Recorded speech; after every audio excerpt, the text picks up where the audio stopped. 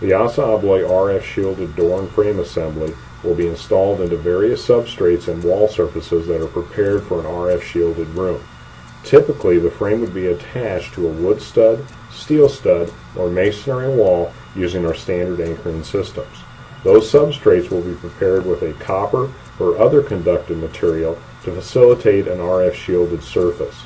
We are trying to prevent electromagnetic interference, EMI, and radio frequency interference, RFI, signals from penetrating into and out of those rooms or structures.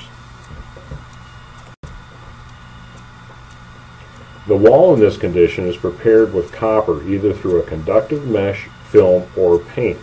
The frame would install as normal following standard SDI, Steel Door Institute, installation protocol, and ABLOY installation procedures.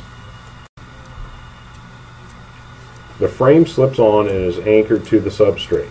Make sure the frame is squared, plumb, and secured using the provided anchors as specified per the installation instructions. It is critical that the contact between the surface of the frame and the mounting surface maintain contact via conductive caulk that will be provided by ASSA ABLOY.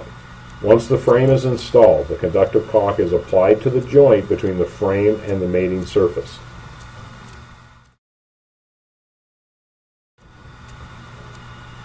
The frame can now be top coated by the installer or painter.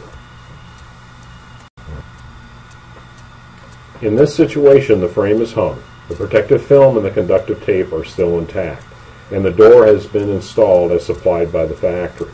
This protective film is supplied from the factory to protect the copper paint that is underneath. After the door has been top coated, the installer would now remove the protective film from the seal exposing the copper surface of the conductive tape. Next step is to remove the conductive tape from the door edge, exposing the copper paint underneath.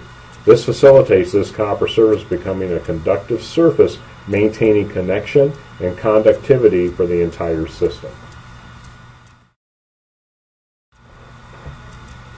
For more information, contact any of the ASSA ABLOY companies listed at the end of the video.